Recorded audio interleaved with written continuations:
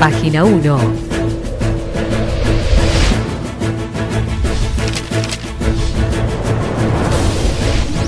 Hay coincidencias en que se necesitan preservar las nuevas obras urbanísticas.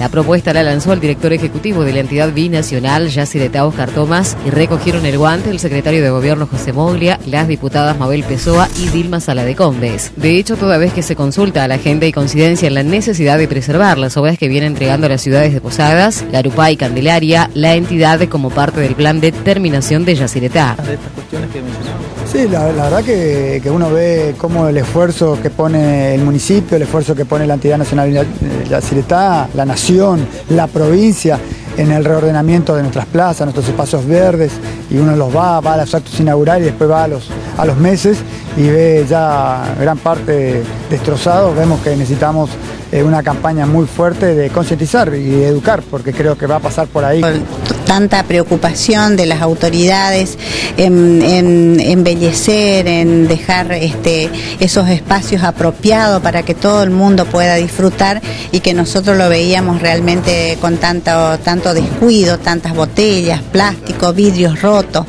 Este, y bueno, yo creo que ese, el, cuidado es justamente parte de esta nueva cultura que nosotros tenemos que este, empezar a, a ponerla en práctica depresión.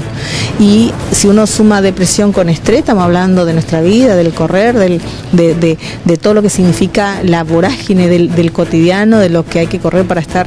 Y uno de los, de los consejos es precisamente el contacto con la naturaleza. Por ahí uno lee un libro de autoayuda y dice, mire la puesta del sol. ¿Sí? trate de estar en silencio, en contacto con la naturaleza, trate de hacer un paseo de recreación.